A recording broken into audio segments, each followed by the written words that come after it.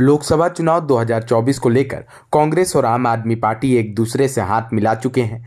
PM Modi जहाँ front foot से खेल रहे हैं और इस बार एनडीए 400 पार करने के कगार पर है तो वहीं विपक्ष अपना अस्तित्व बचाने के लिए दर दर भटक रहा है। सभी विपक्षी दल एक दूसरे से हाथ मिला रहे हैं कि उनकी इज़्ज़त बच जाए, लेकिन गठबंधन के बाद भी विपक्षी दलों के दिल नहीं मिल रहे हैं। पीएम मोदी के खौफ में साथ तो आ गए हैं, लेकिन अंदर ही अंदर एक दूसरे के खिलाफ भी हैं। बंगाल में ममता बनर्जी कांग्रेस को आँख दिखा रही है तो वहीं आम आदमी पार्टी और कांग्रेस पंजाब में एक दूसरे के खिलाफ है। वहीं अब आम आदमी पार्टी और कांग्रेस के बीच एक और विवाद हो गया है और इस विवाद को सुलझाने के लिए आम आदमी पार्टी ने सुप्रीम कोर्ट का दरवाज़ा खटखटाया है। क्या है खबर? बताते हैं आपको इस रिपोर्ट में। दरअसल लोकसभा चुनाव से ठीक पहले हाइड्रो इलेक्ट्रिक प्रोजेक्ट को लेकर आम आदमी पार्टी और कांग्रेस सरकार में तनातनी बढ़ती दिख रही है। पंजाब की आम आदमी पार्टी सरकार सुप्रीम कोर्ट पहुँची है।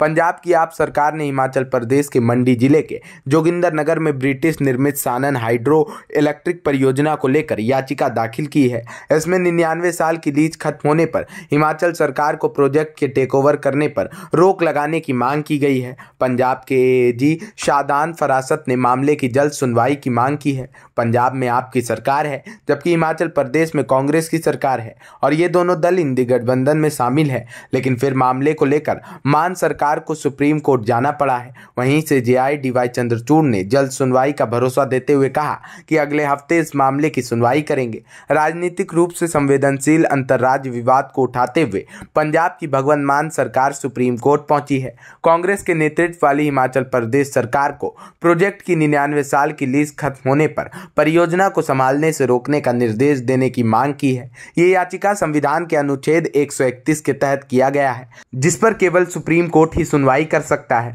पंजाब सरकार ने सूट में कहा है कि लीज की समाप्ति अप्रासंगिक है, क्योंकि परियोजना का रखरखाव और नवीनीकरण राज्य द्वारा अपने स्वयं के पैसे से किया गया है, ताकि इसकी क्षमता 48 से 110 मेगावाट तक बढ़ाई जा सके। इसके अलावा ये दलील दी गई है कि सानन परियोजना के बदले में पंजाब ने हिमाचल प्रदेश के लिए 100 मेगावाट की बस्सी जल विद्युत परियोजना का निर्माण किया था। पंजाब ने हिमाचल पर दुर्भावनापूर्ण तरीके से बिजली घर पर कब्जा करने का इरादा रखने का आरोप लगाया है। याचिका में कहा गया है कि इससे पहले चार मौकों पर दो मार्च को समाप्त होने वाली लीज के अस्तित्व के दौरान सिविल अदालतों ने Punjab state power corporation limited को परियोजना का मालिक होने का फैसला सुनाया था। बता दें कि इस परियोजना को उहल नदी जल विद्युत परियोजना के रूप में भी जाना जाता है। यह वर्तमान में Punjab state power corporation limited के नियंत्रण में है। परियोजना से पूरा राजस्व पंजाब को मिलता है। वहीं चूँकि लीज खत्म हो रही है, हिमाचल के सुखविंदर सिंह सुक्खू के नेतृत्व वाली कांग्रेस सरकार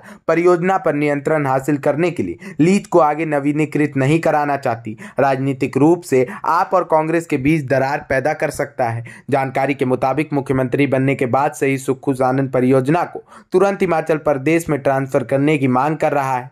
हिमाचल की सुक्खू सरकार ने प्रोजेक्ट के खराब रखरखाव, इमारतों की मरम्मत बंद करने और धुलाई मार्ग ट्रॉली सेवा के खराब रखरखाव का आरोप लगाया है। Bureau report two M news.